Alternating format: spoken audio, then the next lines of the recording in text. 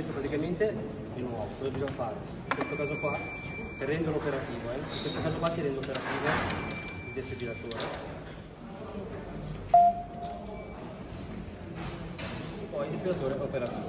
Perché si dice di ultima generazione? Si si dice di ultima generazione perché i defibrillatori moderni praticamente hanno una sola coppia di piastre, quindi è più facile in caso di emergenza, bisogna accenderlo è un macchinario a tutti gli effetti, salvavita. Macchina in funzione. Ah, Modalità adulti. Modalità pediatrica. Rimuovete gli abiti dal torace. Modalità adulti. Rimuovete gli abiti. Enlevez les vêtements de la poitrine du. Remove clothes from the patient's chest. Rimuovete gli abiti dal torace del paziente.